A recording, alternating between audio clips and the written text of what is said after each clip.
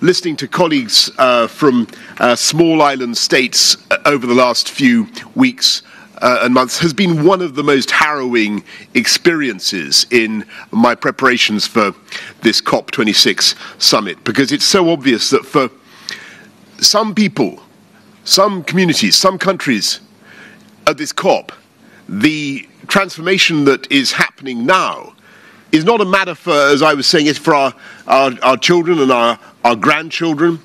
This is something that is an existential threat as we sit here in Glasgow today. And last year, 600 billion tons of ice melted away in Greenland. All that water has to go somewhere.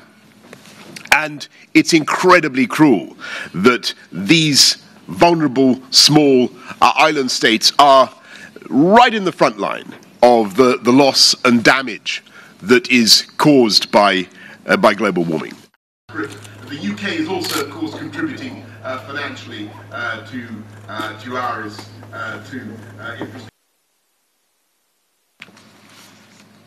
Excellencies, infrastructure for resilient island states Iris का launch एक नई आशा जगाता है नया विश्वास देता है। ये सबसे वनरेबल देशों के लिए कुछ करने का संतोष देता है।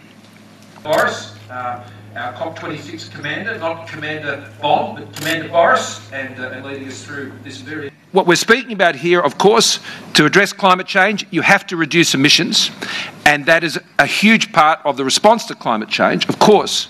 But we also have to adapt to live with the consequences of climate change that is already occurring, that is already built in, that is already going to impact on the lives and livelihoods, particularly of those in island nations all around the world. Thank you, Excellencies, Mbula Vinaka, and a very good morning to you. But there is a gap, trillions of dollars deep, between what uh, vulnerable nations have and what they need to build resilience to a climate crisis we did, uh, we did next to nothing to cause.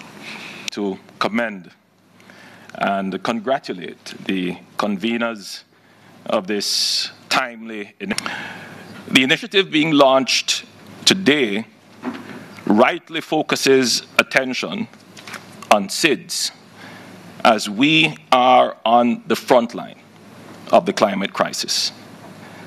As we all know, a single disaster can derail the entire budget of a small island developing state. Distinguished guests, ladies and gentlemen, I have great pleasure in joining you this morning for the launching of the infrastructure. Our island is negatively impacted by the effects of climate change.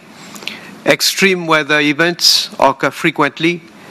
Flash floods have resulted in loss of lives and caused serious damage to infrastructure.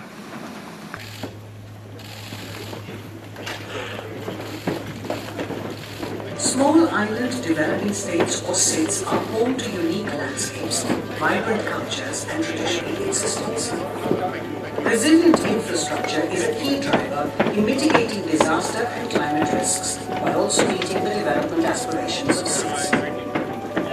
SIDS climate and disaster resilience into infrastructure systems to ensure sustainable development. I would like to say that city